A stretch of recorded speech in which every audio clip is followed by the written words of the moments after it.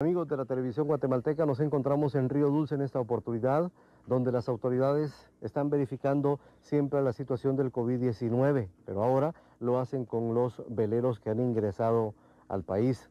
La Superintendencia de Administración Tributaria SAT, Salud y el Comando Naval del Caribe inspeccionaron veleros que están incautados. Son ocho por el momento, pero con el pasar de las horas pueden aumentar, especialmente quienes no tengan sus documentos en regla.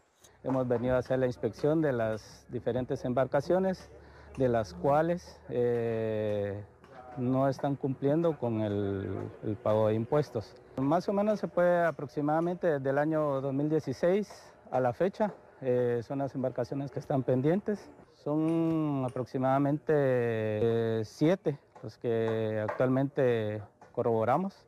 El mensaje que se les deja a estas personas es de que ellos cumplan con sus requisitos, estar solventes, tanto ahorita como en esta situación que estamos viviendo en el país, para que ellos puedan estar tranquilos. En ese sentido, Guatemala ha sido un país visionario en tomar medidas preventivas con mucho tiempo de anticipación. De alguna manera creo que por eso eso refleja que las cifras de Guatemala estén bastante bajas comparadas con otros lugares. las medidas que han tomado son las medidas correctas en el sentido porque hay una situación humanitaria eh, especial, están todos los puertos cerrados, eh, no, eso de salir no está fácil.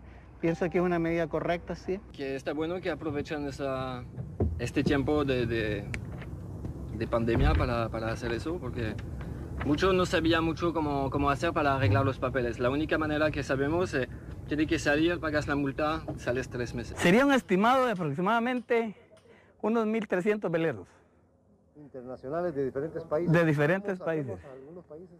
Aquí viene gente de Alemania, Francia, Brasil, México, eh, Chile. Se espera que la tripulación de estas embarcaciones atiendan el llamado de las autoridades para que paguen sus impuestos y también para evitar el COVID-19 en nuestro país.